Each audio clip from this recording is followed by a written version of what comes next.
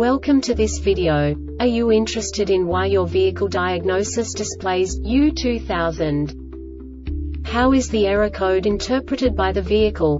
What does U2000 mean, or how to correct this fault? Today we will find answers to these questions together. Let's do this.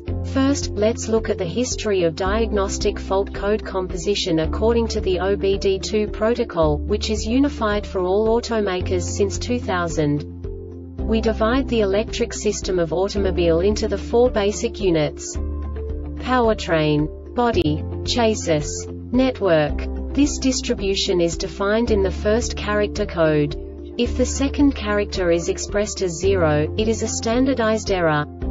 In the case of numbers 1, 2, 3 it is a more prestigious expression of the car-specific error. The third character specifies a subset of errors. The distribution shown is valid only for the standardized DTC code. Only the last two characters define the specific fault of the group.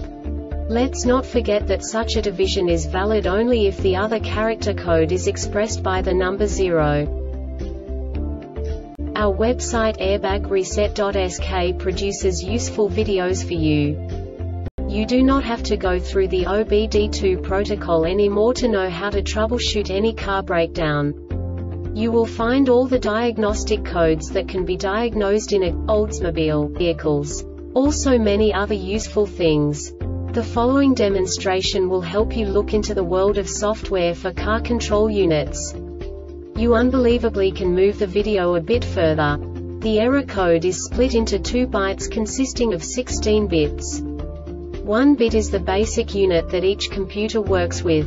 The bit has two logical states.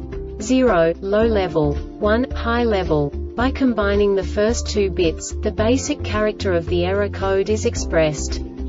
The next two bits again determine the second character. The last beat styles of the first byte define the third character of the code. The second byte is composed of a combination of 8 bits. The first 4 bits determine the fourth character of the code.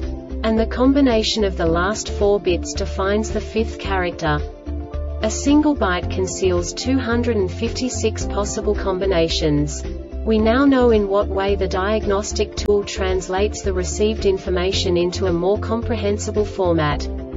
The number itself does not make sense to us if we cannot assign information about it to what it actually expresses.